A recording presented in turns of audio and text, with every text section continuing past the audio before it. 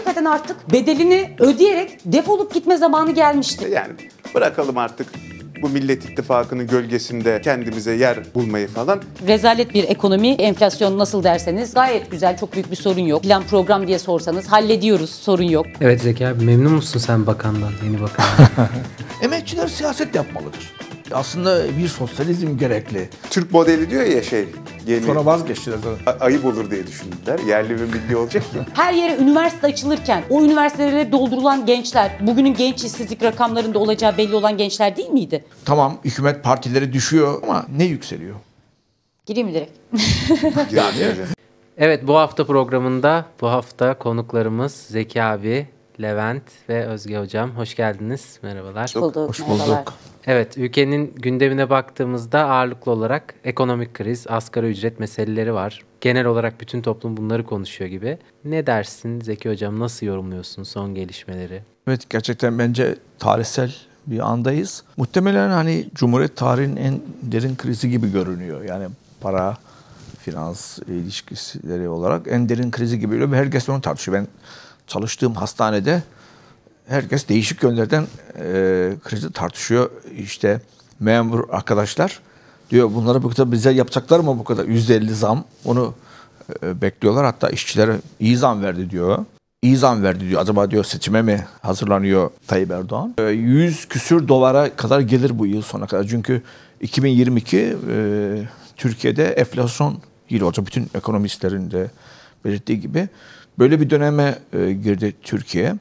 Dolayısıyla bu asgari ücretteki artışın herhangi bir anlamı olmayacak. Zaten düşük bir değer. Geçen seneye göre 100 dolar civarında bir düşük değer var.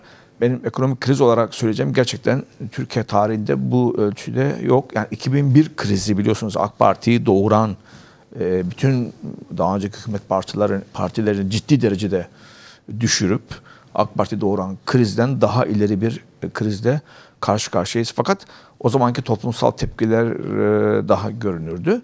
Şimdiki çünkü otoriter e, rejim yani Erdoğan rejimi basın üzerindeki baskısıyla e, diğer kitle örgütleri ve hukuku, mahkemeleri kontrol eden dikkat otoriter bir rejim altında bu dönemi yaşıyoruz ve tepkilerin görünmemesi için ellerinden geleni yapıyorlar. Ama çok daha büyük bir kriz halinde yaşıyoruz. Aslında biliyorsunuz ki 80'den bu yana neoliberal politikalar uygulandı. Neoliberal politikalar emeği ucuzlatır. Fakat işsiz kalan, yoksul kalan, çalışan yoksullar ya da işsizler ya da çalışamaz durumda olan toplum kesimlerine geçmiş dönemlerden daha yüksek oranda sosyal yardım yaparak aslında bir nevi yani neoliberal dönemde de popülist politikalar e, uygulanabilir ve toplumsal tepkiyi yönlendirir. Çünkü bunlar aynı zamanda da bağımlı kitleler haline gelirler. Mesela az da olsa bir para yaşlılara, kadınlara, çocuk üzerinden verilen bu para. Bu parayı düşündüğünüz zaman aslında işçilerin genel ücret seviyesini düşürdüğünüzden dolayı sermayenin kazandığı paranın çok az bir kısmını doğrudan yardım vererek neoliberal döneminde şeyi toplumda hegemonya, e, siyasal hegemonyayı kurabiliyorlar. Artık bunu e, da taşıyamaz e, duruma geldiler. Öte yandan da bildiğiniz gibi büyük borçlanma oldu bu dönemde Türkiye'de. Uluslararası sermayenin bol olduğu bir dönemde, göreceli olarak faizlerin, uluslararası faizlerin düşük olduğu bir dönemde alınan borçlar hiçbir şekilde üretici güçlerin gelişmesi için, üretimi geliştirmek için kullanılmadı. Bunlar daha çok bildiğiniz gibi işte bazı sermaye kaynak aktarımını esas olan çeşitli altyapı yatırımları birçoğu ülkeyi 20 yıl, 30 yıl borçlandıran ve daha gelecek kuşakların borç ödeyeceği yatırımlara AVM yapımı, işte binaların yapılması, bunların değişik ülkelere satılması. Dolayısıyla yani çok üretici olmayan bir yatırım ve bunun artı hukuk düzeninin değişmesiyle beraber borçlanma olanaklarının da azalması artı Covid salgınının dünyadaki etkisi bütün bunlar birleşince ve tabii ki akılsız politika yani sistem içinde de akılsız kapitalist e, sistem içinde akılsız politikalarla tam bir tıkanıklık e, halini yaşıyoruz şu anda. Cevabını evet. tartışacağız. Evet, yani hocam, bu böyle bir kendim ben, ben böyle görüyorum. Haline. Ya tıkanan e, şey kapitalist sistemin kendisi diye bakmamız lazım. Yani e, Zeki Hocam söylediği gibi yanlış politikalar bunu daha da ağır hale belki getiriyor ama e, şu anda tıkanan ve kriz içinde olan şey kapitalist sistemin kendisi. Şu anda içinde debelenmekte olduğu e, şey iktidarın piyasa ve piyasa e, sistemi içerisinde sorunlara çözüm bulmak zaten mümkün değil. Bunu e, Tayyip Erdoğan da bulamıyor. Tayyip Erdoğan'ın karşısında ben buraya ekonomiyi biliyorum, sen bilmiyorsun, ben biliyorum diyerek gelenler de aslında o piyasa sistemi içerisinde bu yaşanan sorunlara çözüm bulabilecek durumda değiller. Ama çözümü burada dikkat ederseniz e, bir genel olarak söyledim ama işçi ve emekçi halk açısından biz tariflemek zorundayız. Çünkü bir sermaye için çözüm, işçi için, emekçi için sorunun ta kendisi olabilir ve şu anda yaşadığımız şey de o. Mesela ihracatçı sermaye e, mevcut politikalar dolayısıyla karına kar kattı.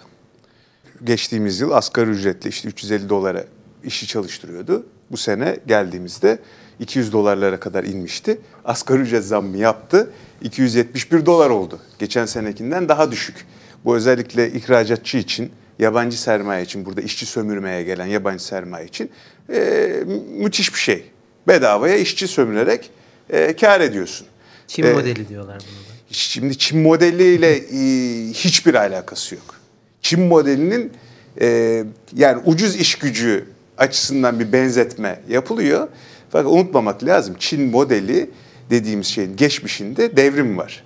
1949 devrimi var. Sosyalist bir planlamayla e, çok yoksul bir toplumun bir sanayi toplumuna dönüşmesi var. Emperyalizmden koparak e, inşa edilmiş bir modern ekonomi var.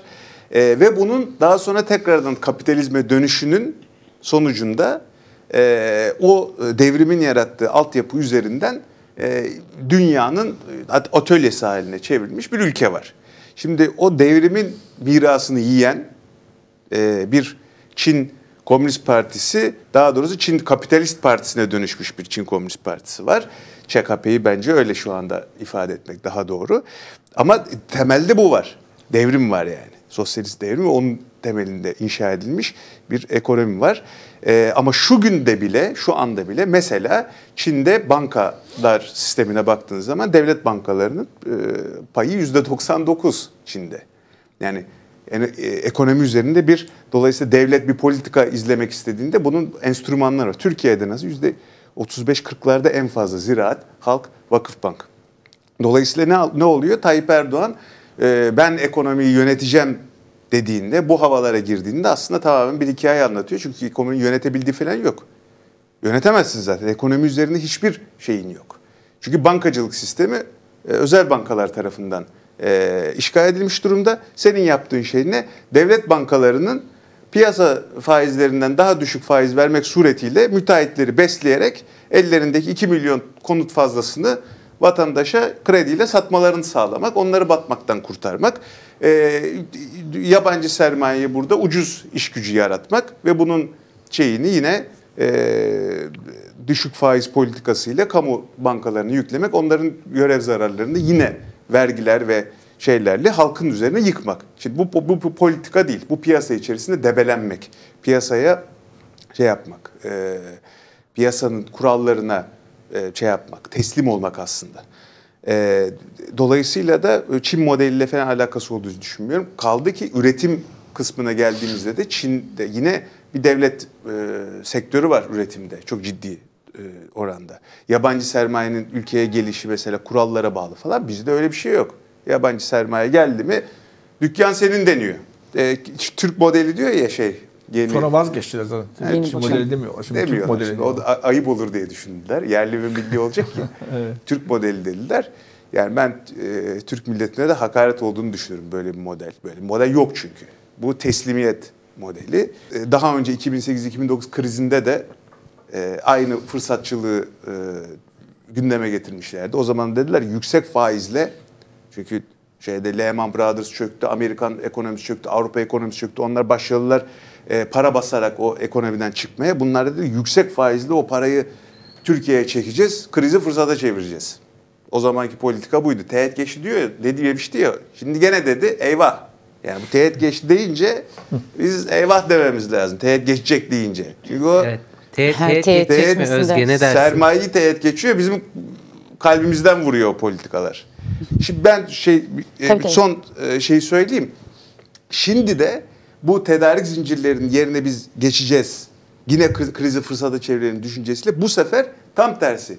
Düşük faiz politikası izliyorlar ve bunun sonucunda Türkiye'deki işçi üc- ücretlerin tamamen kölelik seviyesine indirip bu sefer doğrudan yabancı yatırım çekme e, düşünceleri var.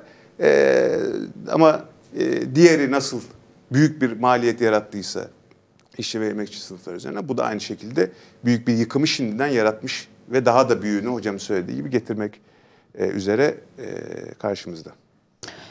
Evet yani e, teğet geçmesinden, teğet geçip geçmeyeceğinden yola çıkacak olursak aslında e, ülkedeki ekonomik krizin e, bence en e, açık göstergesi e, asgari ücrete yüzde el yüzde elli zam yapabilmeleri kadar e, bir gerçeklik yani düşünün ki e, bir Halbuki sermaye iktidarı 20 diyorlar bir de o var yani. Evet O yani bir enflasyon sermaye 20 iktidarı e, asgari ücrete yüzde elli zam yapıyor. Yani e, güllük gülistanlık bir dünya olsa işçiler emekçiler o yüzde elli zammı asla göremeyecekken o yüzde elli zammın yapılabildiği kadar rezalet bir ekonomi e, gidişatı var. Ve tabii ki de bunun işçi ve emekçilerdeki karşılığı o %50 zammın bile bundan önceki yıldaki kadar alım gücünün olmadığı gerçekliği. Hakikaten de öyle yani diyelim ki enflasyon nasıl derseniz gayet güzel çok büyük bir sorun yok. Ekonomik model, kriz, gidişat, e, plan program diye sorsanız hallediyoruz sorun yok. 6 ay dişinizi sıkın, 3 ay öyle, 5 ay böyle şeklinde çeşitli açıklamalar her seferinde geliyor. Fakat gerçek durum e, aslına bakarsanız artık işçilerin, emekçilerin e, gırtlağına iyice yapışmış durumda. E, ciddi bir öfkeyi e, biriktiriyor durumda. Elbette bunun birçok sonucu var. Olumlu ve olumsuz birçok sonucu var. Hem e, ülkedeki bu krizin yarattığı e, toplamda üretenlerin, işçilerin, emekçilerin üzerinde yarattığı olumsuzluk kadar e, bu dünya çapında artık kapitalizmin bir çözüm üretemediğinin bu ülkede, bu topraklarda da açık karşılığını gösteriyor. Gerçekten yani bir hani çözüm nedir? Acil bir çözüm bulalım. Yangın var. Hemen bir şey bulalım diye e, o hani e, en basitinden sosyal medyadaki çığlıkların karşılığı hakikaten bir çözümün olmadığı gerçekliğiyle bugün sistemin de e, o sistemin sözcüsü olan iktidarın da karşı karşıya olması gerçekliği. Şu anki hal budur. E, o açıdan e, en son hani Levent'in de dediği gibi aslında e, bir debelenme hali, bir şekilde sermayeyi hatta onda bile kendi sermayesini yani kendisine yandaş olan sermayeyi ayakta tutmaya çalışan iktidarın yani milyonları gözden çıkarışını izliyoruz. Bunun dünyada çeşitli tezahürleri var elbette. Ee, her ne kadar Türkiye modeli e, oraya benzeme buraya benzeme çeşitli e, varyasyonlarını konuşuyor olsak bile en nihayetinde e, özcesi hakikaten kendine yandaş bulduğu sermayeyi beslemek adına bugün milyonları ciddi anlamda büyük bir açlıkla, yoksullukla, işsizlikle baş başa bırakıldığı gerçekliği. Şimdi burada tabii ben hani e, biraz hani bunun geldiği noktayı e, hem Zeki Hocam hem Levent oldukça e, farklı boyutlarıyla da dile getirdiler. E, diyelim ki ee, şöyle bir boyutu da bundan sonrasına dair yapılabileceklere e, ve hani hemen nasıl çıkacağız, böyle bir sorunu nasıl çözeceğiz, e, çok büyük bir yangın var, dolar sürekli tırmanıyor, ne olacak konusundaki e, tırnak içerisinde o çaresizlik haliyle ilgili de bir tartışmanın olduğunu düşünüyorum. Nihayetinde biraz bizim de tartışmak istediğimiz, her zaman konuştuğumuz e, sosyalistler açısından da bunun çokça tartışılması gerektiğini düşündüğümüz bir boyutu. Birincisi ilk etapta şu anki halin çözümünü hakikaten sermayenin beslenmesinden yana e, düşünen tüm iktidarlar için hakikaten yolun sonuna gelmiş durumdayız. Yani hem mevcut iktidar hem dünyadaki bugüne kadarki örnekleri hem de bundan sonra bu modelin devamını savunanlar için yolun sonuna gelinmiş durumda. E, mevcut üretim ilişkileri, mevcut mülkiyet ilişkileri e, buna artık bir çözüm üretemiyor. E, ve çok hani e, açık hali ben e, en azından en son ki e, son güncel bakanın program yayınlanana kadar değişmezse son güncel bakanın e, verdiği örnekten hakikaten e, çok açık olduğunu düşünüyorum. Diyor ki e, yani siz en fazla maaşınızı kaybedersiniz nedir ki? Ben varlığımı kaybederim diyor Ne kadar açık bir örnek. Ee, dünyada şu an sermaye sınıfı ve sermaye sınıfının sözcüsü olan iktidarlar için durum bu. Ee, bir ölüm kalım savaşı yaşıyorlar. Kendi varlıklarını kaybetme riskiyle karşı karşıyalar. Fakat bunun karşısında bizim bir örgütlü işçi sınıfını var etmek gibi bir sorumluluğumuz duruyor. Şu an bu gücü göremedikleri için işçi sınıfının bugünkü e, yaşadığı zorluğu bir örgütlü güce çevirememesinden faydalandığını düşünerek bunu ileri sürüyorlar. Halbuki durum tam tersidir. Halbuki Nebati, Nebati gibi binlercesi, yüzlercesi, binlerce demeyeyim binlerce yoklar çünkü. Yüzlercesi e, varlığını kaybetse bu dünyada bolluktan başka hiçbir şey olmaz. Gayet de güzel olur. Onlar varlıklarını kaybedebilirler. Ama yani işçiler için, işçi sınıfı için maaşını kaybetmek diye bir şey yoktur. Öyle bir imkan yoktur. Emeğini satmadan yaşayabilmek, hayatta kalabilmek gibi bir imkan yoktur. Bu açıdan tam da sorun buradadır. Mevcut düzende, mevcut kapitalist işleyiş e, de bunun bu ülkedeki sözcüsü iktidar içinde hakikaten artık yani yarattıkları yıkımın bedelini ödeyerek defolup gitme zamanı gelmiştir. Yani bu bu kadar açık. Bunu ama sadece tek başına e, dolar kuru üzerinden değerlendirmekten vazgeçerek bugün bu zorluğu yaşayanların e, artık yönetime aday olduğu o masalarda onlar adına karar alanlar yerine e, karar alabileceğinin e, hem politik olarak öne sürülmesi, programatik olarak öne sürülmesi hem de bunun artık biriktirilmesi üzerine hızla yola çıkmamız gerektiğini düşünüyorum. Hakikaten de durum e, bizi artık bu noktaya getirdi. Çok acil bir çözüm isteniyor. Dolar kuruna çok acil bir müdahale isteniyor. Bu krizde çok acil bir müdahale isteniyor. Acil olarak işçi sınıfının örgütleneceği, işçi sınıfının kendi kararlarını, kendi e, tüm yönetim aygıtlarına müdahale edeceği biçimi harekete geçirmeye ihtiyacımız var diye düşünüyorum. Bu yolu açabiliriz. Bugün bunun için çok fazla imkanımız var ve gerçek durumda bunu gösteriyor diye düşünüyorum. Evet Zeki abi memnun musun sen bakandan, yeni bakandan? yeni bakan evet yani yaşadığı tam gerçekliği ifade etti. Ben hani e, buradan devam edebiliriz diye düşünüyorum. Şimdi şöyle yani bu daha önce neoliberal politikalardan önce biliyorsunuz hani tırnak içinde herkes vahşi kapitalist politikalardan önce kar oranları düşmesiyle neoliberal politikalara geçildi. E, ve e, sermaye döngüsel krizini o anda hafifletti. Fakat inanılmaz bir eşitsizlik yarattı. Çünkü demin söylediğim gibi yani örgütlü emeğin yerini göreceli olarak daha yüksek ücret düzeyini düşürdü sömürü oranlarını artırdı. İnanılmaz bir eşitsizlik yarattı. Hem bu ülkeler içinde hem de ülkeler arası eşitsizlik yarattı. Bu da sermayenin yönetim şekli olan tırnak içinde liberal demokrasi, batı için konuşuyorum. Bu liberal demokrasi ve hatta ona öykünen Türkiye gibi ülkeler için düşünelim. Bunların e, şeysini azalttı ve birçok bir ülkede hatta gelişmiş batı ülkelerinde de Fransa'da olduğu gibi Amerika'da en son olduğu gibi yani e, sağ e, faşizan tam faşist e, klasik anlamda olmasa faşizan e, siyasal şeyleri ön plana çıkarttı. Bugün birçok Avrupa ülkesinde faşistler e, ciddi şekilde iktidar ortağı, alternatif olacak durumdalar. Yani bütün partiler karşılarına geçerek Fransa'da geçen seçimde olduğu gibi şimdiki seçimde de muhtemelen böyle bir arayış var. Buraya nasıl geliniyor? Yani aslında kriz e, çok ciddi bir şekilde devam ediyor. Eşitsizlikler artıyor. Bunu her şekilde görüyoruz.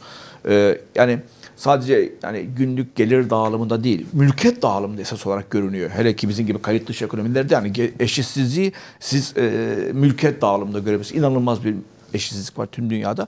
Buna karşı neden e, hani alternatif olarak eğer bir sınıf siyaseti emekçi halkın bir iktidar seçeneği şeklinde örgütlenmesi olmadıkça diğer tarafın güçlenmesi kaçınılmaz. Yani bunu görmek gerekiyor. Bu bir potansiyel kriz, bu, bu ciddi bir kriz ve bir yandan bizim istediğimiz seçeneği için bir e, mücadeleyle daha yükseltecek bir şey sağlarken diğer yandan da hani burjuvazinin kendi çözüm olarak e, bu tip siyasal şeylere kayma yani sağ, faşizan, e, ırkçı, yabancı düşmanı e, akımlara doğru gelişme e, şeyi de var. Yolu da var. Sınıf kavgasının yerine kardeş kavgasını Evet. E, Aslında bu batılı batılı e, batılı işte Batı Avrupa'daki sosyalist partiler, komünist partilerin aslında işçi sınıfının en ezilen kesimlerinden e, göçmen işçilerden kopuşu, geleneksel işçi mahallelerinden kopuşu ve oradaki işsizleri tamamen bu tip akımlara bıraktılar. Mesela analizler var birçok ülkede. Diyelim Fransa'da geçmişte Fransız Komünist Partisi'nin ya da diğer yapıların yani çok örgütlü olduğu, %80-90 oy aldığı yerlerde bugün birinci parti faşist parti. Aslında bu e, birçok klasik e, işte sosyalist, komünist parti, batı partilerinin aslında e, işçi sınıfını esas alan, yoksullar esas alan politikalarından uzaklaşması ve kimlik siyasetine kaymasıyla Tamamen ilişkili bir, Tamamen şey. Ondan. Şimdi Türkiye'de de hani yeni siyasal seçeneği tartıştığımızdan göre buna bakmak gerekiyor. Burjuvazinin cevabı belli. Türkiye'de de aslında bugün modern ana yani dört siyaset kimlik siyaseti. Bunlardan bir tanesi Kürt siyaseti. O ezilen bir e, halk kesimini temsil ediyor ve e, o siyasetin e, hakkı şeyi var. Yani o zeminde yürütme şeysi var. E, ama e, bunun dışında tabii ki o da bir karşı siyaset. Bunun karşısında Türk milliyetçiliği var. E, modern batılı e, işte layık kesim ve Alevi halkıyla diğer taraftan Sünni muhafazakar milliyetçi akıma yani kimlik siyaseti var. Şimdi bunun bunların tabanı da özellikle bütün emekçi insanlar, halk kesimi bunun bunları bunlardan kopartıp bu kimlik siyaseti kopartıp bir e, sınıf siyaseti, bir emekçi halk siyaseti halinde geliştirmek bu bizim tek seçeneğimiz. Dünyanın da tek seçeneği aslında ezilenlerin bu şekilde siyasal güç olması ve iktidara gel, gelecek şekilde olması. Ama e, zorluklar taşıyor ve yeni e, bence söylemleri ve siyaset tarzlarını e, geliştiriyor. Mesela ben burada bir cümle söyleyip geçeyim. Mesela Disk'in son yaptığı mitingde bu Disk ve Türkiye zaten söylemiyor, halk işte söylemiyor ama herhangi bir sendikacının çıkıp mikrofondan şimdiye şey duydunuz mu? Ya bu arkadaşlar böyle gitmiyor. Emekçiler siyaset yapmalıdır. Siyasi güç oluşturmalıdır. İlla bir siyaseti e, Devrimci İşçi Partisi'ni ya da e, Emekçi Hareket Partisi'ni söylemesi gerekmiyor ama emekçiler siyaset yapmalıdır. Ancak ekmeğimizi böyle kazanır dediğini duydunuz mu? Duydun mu? Konfederasyon başkanlarından duymadım ama diyen sınır mücadeleci sendikacılar var. Yani evet yani aslında bu çok temel bir şey. Yani. Tabii. Çok temel bir şey. Dolayısıyla da e, yani e, dolayısıyla evet bunun yüksek sesle söylenmesi yani bütün emek örgütlerinin herkesin sınıfın siyasal bir güç haline gelmesinin çok acil zaten her zaman gerek ama çok acil bir ihtiyaç haline geldiğini ve başka türlü ne bu ülkenin batağa doğru gidişini önleyebileceğimizi ne de başka yıkımları önleyebileceğimizi. Çünkü hakikaten başka yıkımlar da olabilir. Yani büyük bir ekonomik bunalım içerisinde çatışmalı bir dönemde gelebilir Türkiye'de. Bir takım kimlik temelli çatışmalar da yükselebilir. E, bir takım emperyalist müdahalelere açık hale geliyorsunuz. Bir takım emperyalist, emperyalist odakların yaptırmak istedikleri şeyler için çok açık. Bugün şu anda e, hükümet 5 kuruş verecek olanın kölesi olmaya hazır bir 5 doları verenin kölesi olmaya hazır evet. bir halde. E bunu niçin kullanmak istemesinler? Dolayısıyla yani sadece işçilerin, yoksul halkın geleceği için, ülkenin geleceği için, bölgenin geleceği açısından Türkiye'yi düşünürsek acil bir ihtiyaç var bir emek siyasetine işçiler, emekçiler için de yıkıcı bir tabii sonuç ki. yaratmak mümkün olabilir. Senin dediğinden tabii yola çıkarak söylüyorum. Tabii ki, tabii. Diyelim ki sadece olumsuz anlamda ve sermaye güçleri tabii. ya da diyelim ki e, sermaye kesiminin tarafından bir yıkıcı sonuç olması ihtimali kadar işçiler, ki. emekçiler lehine de bir yıkıcı sonucu var etmek imkanı o, o yaratıcı, doğabilir. O yaratıcı bir yıkıcılık olabilir. Yani büyük büyük Tabii krizler, bu, düş, büyük bu, sonuçlar bu düzeni yerle bir etmek o için. O yaratıcı bir yıkıcılık. E, kolları sıvaması gerekiyor Madem işte. Bu kadar Sınıf siyaset var. dediğimiz. Çünkü gerçekten e, tamamen e, tıkanmış bir sistem var. E, ve bu tıkanmada yani şeyle böyle kimyasallarla, mimyasallarla falan açılabilecek bir basit bir tıkanma değil. Sistem tıkanmış yani. Toptan değiştirmek Ama gerekiyor. ben sana bir şey sormak istiyorum. Bunu tıkanmak için bazı biraz daha ılımlı reformist burjuva ideologlar Hı-hı. mesela şey öneriyorlar. Bizde bile söylediler. Aslında bir sosyalizm gerekli. Biliyorsun şey diyorlar ya evrensel ücret. Yani ha, bu diyorlar o kadar diyor, hocam. O kadar şimdi, o kadar gelir evrensel ücret diyorlar işte onu söylüyorum. Bu bu zaten her böyle dönemlerde şimdi artık mızrak çuvala sığmadığı zaman bir yandan e, bazı e, Peki sence hiç Keynesyen politikaların hiçbir e, olasılığı yok. yok. Hiçbir Neden olasılığı yok? yok. Neden yok? Ya çünkü çünkü şu anda e, sistem yani kapitalist sistemin bir çöküşüyle karşı karşıyayız ve e, şu anda bu çöküş e, arzi değil, dönemsel değil, e, bir depresyon dediğimiz yani resesyonda depresyon arasındaki fark resesyonun kısa dönemli olması, depresyonun uzun dönemli ve sistematik olması. Depresyondan siyasi şekilde çıkılır. E, resesyondan e, şey olarak da yani ekonomik dalgala, dalgalanmaların bir parçası olarak e, ekonomi kendisini toparlayarak piyasada çıkabileceği söylenebilir. 2008-2009'dan beri dünya ekonomisi, Türkiye'den bahsetmiyorum, e, derin bir kriz içerisinde. Şimdi bunun e, kapitalizmin içerisinde çözüm yöntemi yok. Şimdi Keynesyen politikalar diyorsunuz. E şimdi zaten hani e, genişlemeci politika izleyeceksiniz. Kamu harcamalarını arttıracaksınız vesaire. Şimdi bu belli ölçüde uygulanıyor. Amerika'daki Amerika'da. Amerika'da uygulanıyor. E şimdi ne oldu? Hemen, enflasyon. Evet. Türkiye zaten Türkiye başka bir e, olay. E, Türkiye'de de bir çözüm olmadığını gördük. Şimdi bir tarafta şu var. Bir tanesi diyor ki e, şimdi bu Covid'le birlikte ne oldu? Aynı anda hem enflasyon hem de daralma, Daralma. küçülme sorunuyla karşı karşıya kaldık. Buna çözüm olarak dediler ki işte hani Keynesyen politikalara biraz Alt daha yatkın olanlar şey dediler ki şu harcamaları yapalım. En azından enflasyona bırakalım gitsin e, büyümeyi Evet. toparlayalım. Bu seçim politikaları içinde, seçim içinde daha elverişli bir şeydi. Fakat e, böyle olmadı da gözüktü. Şimdi e, bir e, doping yapıl, yapılıyor ekonomiye ama peşinden ciddi bir yıkım geleceği de çok aşikar. E, dolayısıyla bunlar çözüm değil. Bir taraf diyor ki, yani aradaki fark şu. Şu anda mesela Cumhur İttifakı'nın politikası şu. Çok yüksek enflasyon, daha az yüksek işsizlik. Millet İttifakı'nın politikası ne? Daha az yüksek enflasyon, daha çok işsizlik. Şimdi ikisi de kötü tarafını söylemiyorlar. Yani işte mevcut iktidar diyor mu ki ben enflasyonu bırakacağım. Değil mi? Ondan sonra ve sizin ücretlerinizi kölelik seviyesinde in- indireceğim. Karın tokluğuna bile çalışamayacak duruma geleceksiniz diyor mu? Demiyor. Onun yerine işte ekonomik kurtuluş savaşı falan diyor. E Babacan e, ekonomisi bunun karşısında ne diyor? Diyor ki biz geliriz hemen güveni oluştururuz. Ara şey çözeriz. Güveni nasıl oluştururuz? Faizleri. Bu arada faizleri Faiz bin- o onların kafasına göre bu bin puan falan bile artık yetmez. Normal e, reel artı faiz vermek olmak istiyorsanız için. gerçek enflasyon kimse salak değil. Ben söylüyorum. Şu anda mevcut TÜİK'in enflasyon oranlarıyla şirkette bir tane finans müdürü he- hesap yapsa şeyini e, şirketin bütçesini ona göre hazırlasa bir gün işte tutmazlar adamı. Dolayısıyla böyle ülke öğretmeye çalışıyorlar. Şimdi aslında halkımız da bunu yemiyor. Şimdi gerçeği bu. Şimdi 1400 lira gibi bir zam koydular şeye asgari ücret ama zaten bıçak kemiğe dayanmış. İnsanlar felaket e, geçinemez durumdayken bu kısmen günlük bir rahatlama getirir. İlk asgari ücret zammını asgari yani zamlı asgari ücret aldı. Ama vatandaş benim halkım çok iyi. Yani akademik olarak matematikte e, şey olmayabilir ama ben yıllarca işçilerle birlikte beraber işte toplu sözleşme zamanları falan hesapları yaparak gördüm. Ee, bizim işçi sınıf matematiği iyidir hocam. Bütün e, her e, bu durumun hesabını yaparak insanlar şunu görüyor. Geçen seneye göre 1400 lira zam yapılmış olabilir. Dolar hesabı falan yapmaya gerek yok. İnsanlar bu zamlı asgari ücretin geçtiğimiz yılın asgari ücretine göre 800 tane daha az ekmek aldığını biliyorlar. Evet, Daha bir de yağ. 10, 10 Yağ kilo hesabı. 10 kilo daha az et aldığını biliyorlar.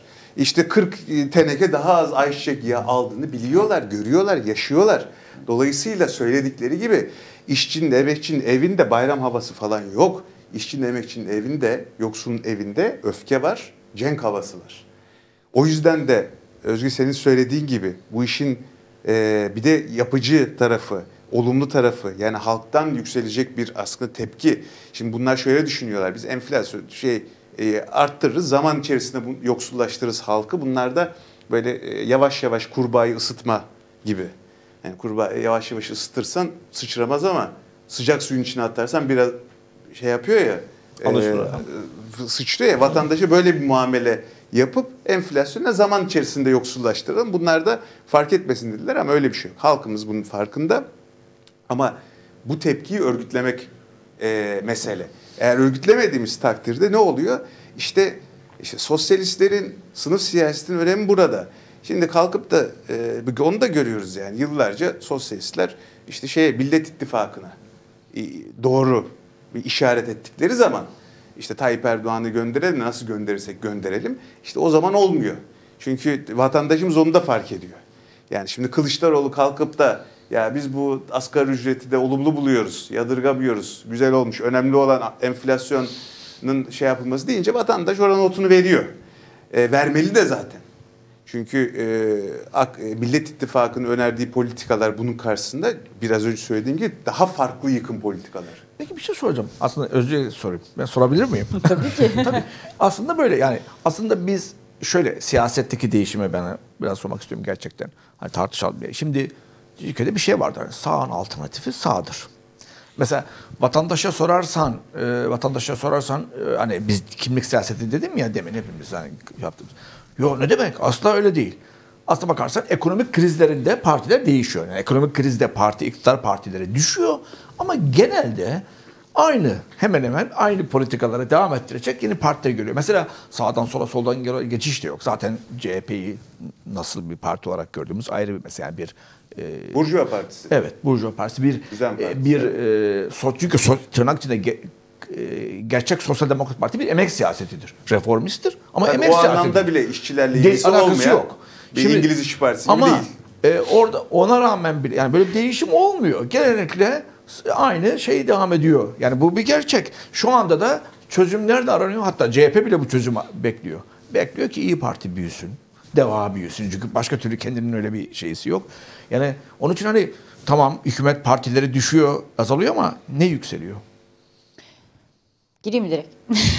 yani, Sen tam ee, önce sana, sana geldi. yüzden söylüyorum. Yani, hani sana geldi. İşçiler arasında iyi Parti'nin yükseldiğini görüyoruz. Gerçeklik yani. O verme davranışı olarak yani nasıl bunu ya bence o da e, o kadar yerleşik değil. Yani mesela diyelim ki bence çok fazla değişken var. Diyelim ki e, şimdi hani e, hani CHP'yi e, evet. sola bir yere koymamıza gerek de yok bunun evet. için. Yine de yani mevcut bir e, çeşitli e, rejim denemeleri arasında bile çok fazla geçişler var. Şimdi yani bu ekonomik model e, karşısındaki siyaset tipi çok benzeşiyor olsa da yani tamamı bir çeşit sermaye sözcüsü olarak ve sermayenin devamlılığı ve kapitalist üretim ilişkilerinin devamlılığı üzerine bir politika öneriyor olsa da e, değişimler fazla. Yani çeşitli e, politik yaklaşımlara göre bloklar çok değişiyor. Yani diyelim ki İyi Parti dediğimiz şey MHP'den ayrılan biri bir tarafta biri bir tarafta. Ama sonuç olarak Şimdi, aynı. O, onu so, ekonomi politikaları anlamında böyle diyebiliriz ama diğer taraftan diyemeyiz ve öyle dersek zaten CHP'de AKP dire geliriz gibi bir e, ayrışmalar var. Tabii biz şimdi işçi sınıfı siyaseti ha, onu diyorum. E, açısından emek siyasetinin yükselememesi ayrı bir e, bir iktidar alternatifi görünür evet, bir şey olamamasını buradan, tartışıyorum ben. Buradan Yoksa. baktığımız zaman da ya tabii ki şimdi burada e, bir uzun yılların muhasebesi devreye giriyor. Ben senin en başta söylediğin kısma o açıdan bir hani e, geri dönüş yapmakta fayda var diye düşünüyorum. Diyelim ki yani bu ekonomik krizin de geleceği yani dolar kuru 5 liradan 10 liraya çıkınca ortaya çıkmadı.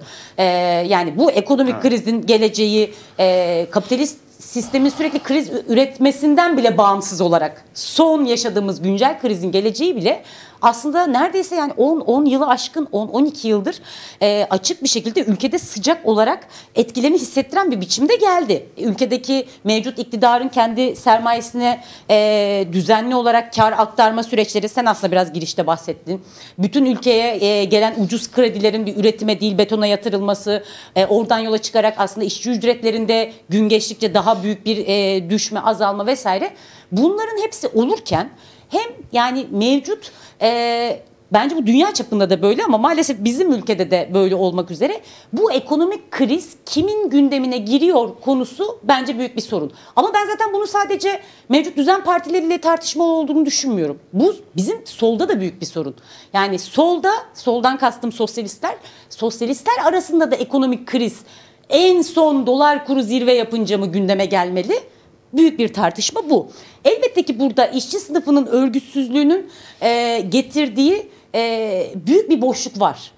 Tabii ki de bana göre de e, işçi sınıfının daha fazla bu konuya siyaseten müdahale etmesinin imkanlarını yaratabiliyor olsak bu e, mevcut düzen partilerinde belli bir hizaya çekmesine imkan tanıyacak ama bu zaten maalesef ki dediğim gibi 10 yıldır bu ülkede diyelim ki e, çok açık örnekleri var. Mesela her yere üniversite açılırken o üniversitelere doldurulan gençler bugünün genç işsizlik rakamlarında olacağı belli olan gençler değil miydi? Ya bu genç işsizlik denilen şey bugün ortaya çıkmadı ki.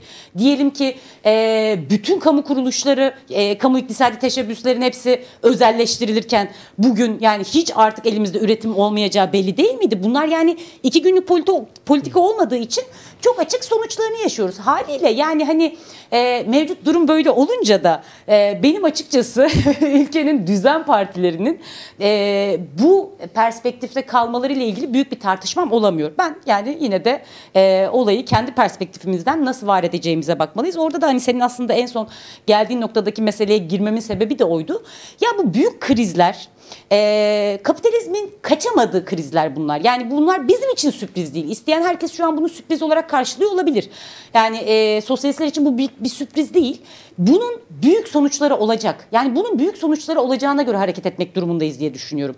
Ve bunun büyük sonuçları e, kadri mutlak bir biçimde sermaye tarafından olmak zorunda değil. Sen bir sürü olumsuz örneğini verdin.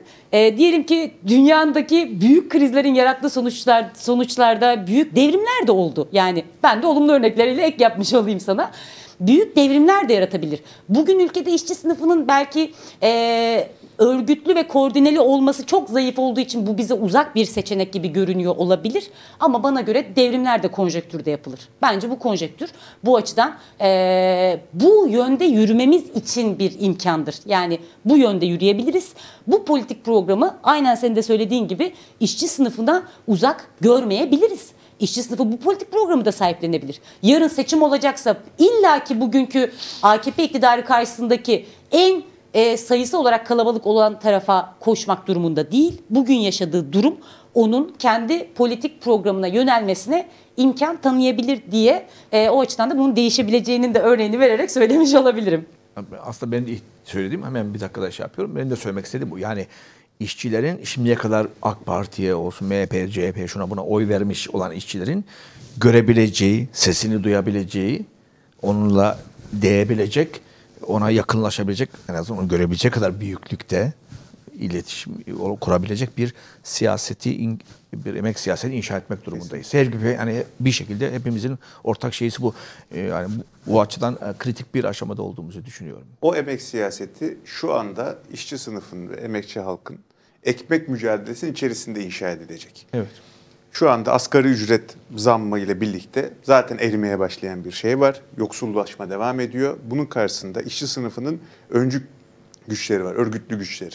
Mesela MES sözleşmeleri var önümüzde.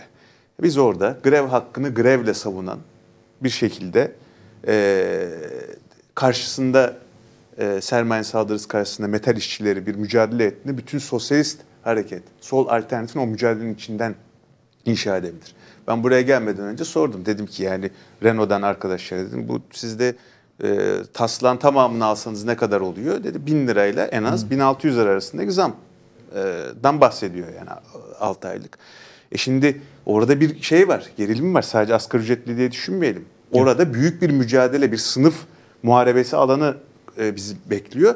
E, sınıf siyaseti burada inşa edilecek de nerede inşa edilecek? Kamu emekçileri grevli toplu sözleşme hakkı şu anda ne kadar yakıcı olduğu ortada. Yani kamu emekçileri eğer şu anda asgari ücretli seviyesine düşmek istemiyorlarsa bu hakkı e, fiilen, fiilen hayata geçirmek zorundalar.